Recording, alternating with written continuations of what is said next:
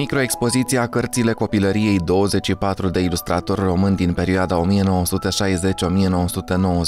este rezultatul colaborării dintre Asociația Muzeul Jucăriilor din București și Muzeul Național de Istoria României și completează armonios expoziția Muzeul Jucăriilor. Astfel, peste 400 de cărți pentru copii din perioada 1960-1990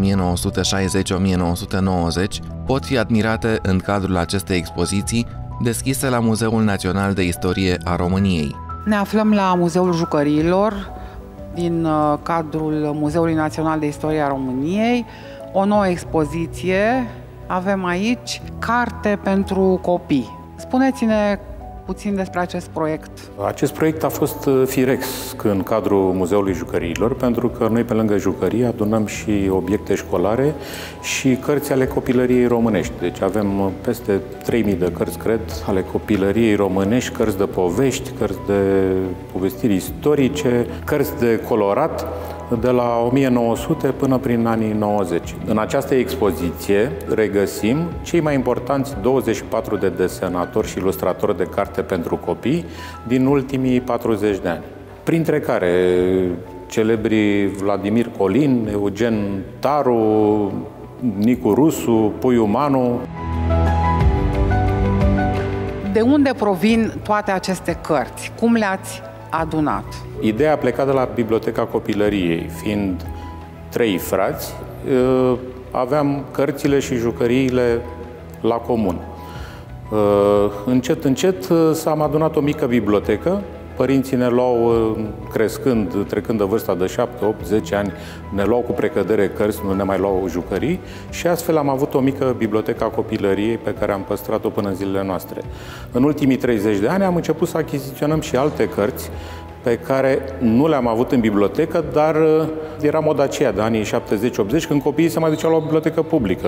Eu mă duceam la biblioteca Sadoveanu ca să împrumut cărți, pentru că mei nu puteau cumpăra toate cărțile care apăreau.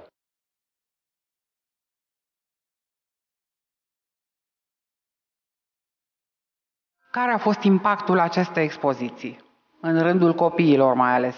În rândul copiilor ă, trebuie să recunoaștem că nu a fost atât de mare cât ne așteptam, cu toate că unele cărți s-au reeditat. Dar bucuria noastră a fost că ei au venit la muzeu însoțit de părinți care și-au revăzut și și-au adus aminte cartea datorită ilustrației de pe copertă, pur și simplu. Au tresărit când au văzut cartea aceea și și-au adus aminte că au avut o an de zile în casă, au citit-o și recitit-o.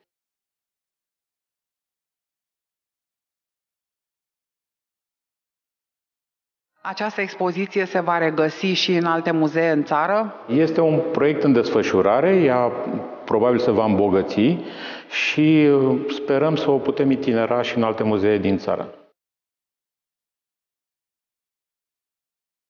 În acest proiect am colaborat foarte bine cu un cunoscut artist contemporan, uh, Ciubotăriu Alexandru, Pisica Pătrată pentru cunoscători, care practic trăiește în această lume a ilustratorilor de carte. Capra cu treiez și harapalb de Ion Creangă, Căprioara de Emil Gârleanu, Puiul de Ioan Alexandru Vrătescu Voinești, Dumbrava minunată de Mihail Sadoveanu sau Doi feți cu stea în frunte de Ioan Slavici, sunt doar o parte din titlurile pe care aveți ocazia să le descoperiți în cadrul acestei expoziții. Acum uh, suntem în biblioteca Muzeului Jucăriilor, unde este doar o parte, nu sunt chiar toate din uh, colecția de cărți.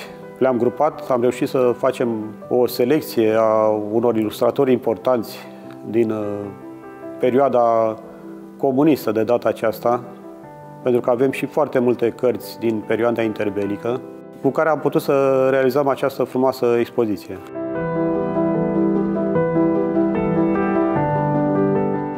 În biblioteca noastră puteți găsi de la cărți mai mici apărute în anii 60 în colecția Traista cu povești, până la cărțile mai mari apărute în anii 80. De asemenea, o colecție importantă de cărți pop-up sau 3D, apărute și în România, dar și uh, importate din uh, Ceoslovacia.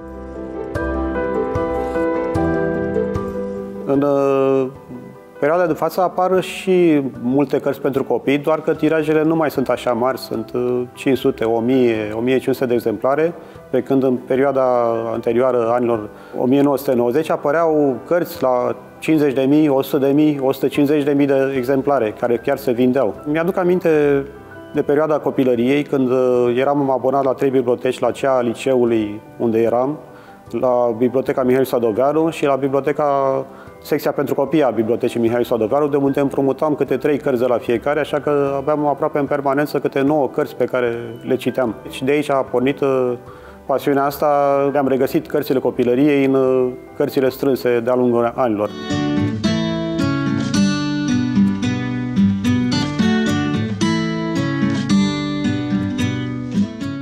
Cărțile, realizate în colaborare cu 24 de ilustratori români celebri precum Ileana Ceaușu Pandele, Nel Cobar, Marcela Cordescu, Stella Crețu, Iacob Desideriu, Puiu Manu sau Ana Maria Smigelski, fac parte din colecția asociației Muzeul Jucăriilor.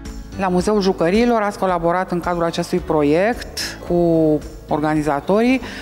Ce înseamnă pentru dumneavoastră acest proiect? Este o colaborare de lungă durată cu, cu acest minunat proiect care se cheamă Muzeul Jucăriilor. Uh, într-adevăr, poate mai mult pe partea grafică, pentru că asta fac și asta mă interesează. Am organizat multe expoziții legate de ilustrație de carte, de banda desenată, ba chiar uneori am dat o mână de ajutor făcând anumite afișe sau mici inserții grafice necesare expozițiilor. Mi este foarte drag și acești doi oameni care au pus bazele acestui muzeu sunt doi oameni minunați, extrem de pasionați și mă regăsesc cumva în pasiunea lor și încerc să, să ne unim forțele să, să construim ceva poate mai bun cumva.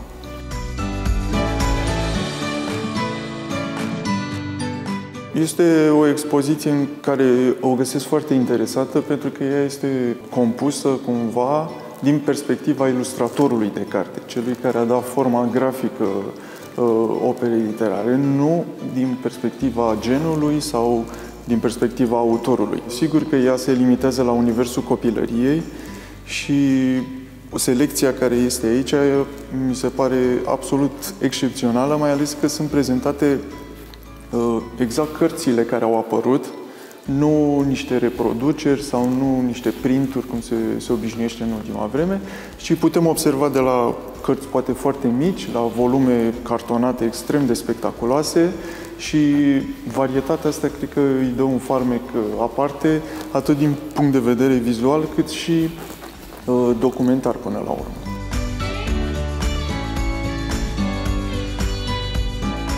Pasiunea mea mare este într-adevăr banda desenată. Uh, mulți autori uh, au activat în ilustrația de carte sau chiar în alte domenii. Uh, sunt niște nume aici despre care știm foarte mult.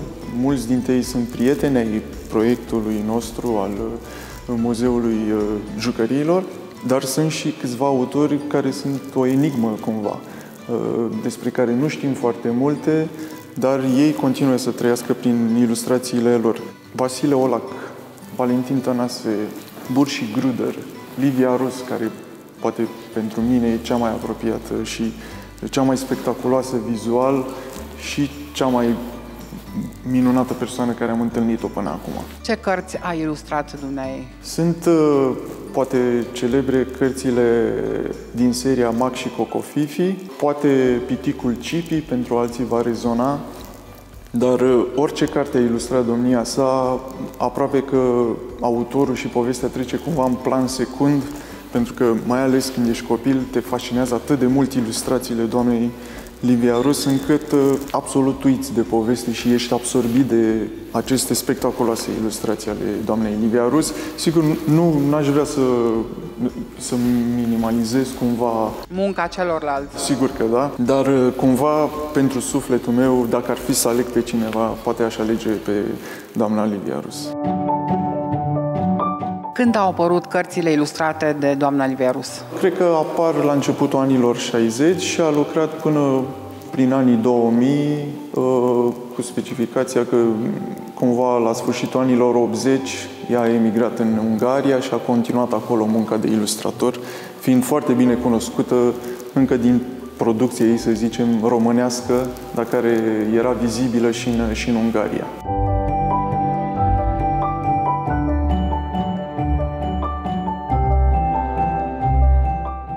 Dacă vorbim despre impactul expoziției asupra copiilor din zilele noastre, cum vedeți această expoziție? Este una utilă doar pentru memoria părinților sau este și pentru copii?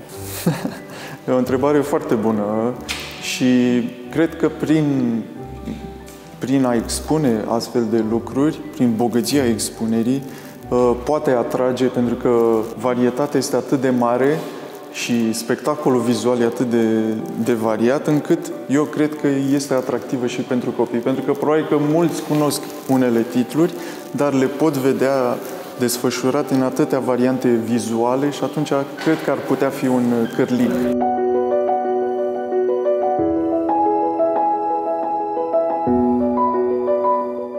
Această expoziție, acest proiect, eu vreau să-l dezvoltăm împreună cu cu Asociația Muzeul Jucăriilor, în sensul că putem aduce chiar lucrări originale, pentru că cunoaștem o parte din artiști și atunci pot vedea dincolo de pagina tipărită care îți pune oarecum o barieră și nu poți simți neapărat desenul artistului, putem varia chiar și cu alte lucrări, pentru că mulți din autori au fost și pictori sau uh, creatori de gravură, să zicem, Alții, într-adevăr, sunt doar ilustratori de carte, ceea ce e un lucru interesant și mai greu de realizat în ziua de azi, să rămâi doar într-un singur domeniu.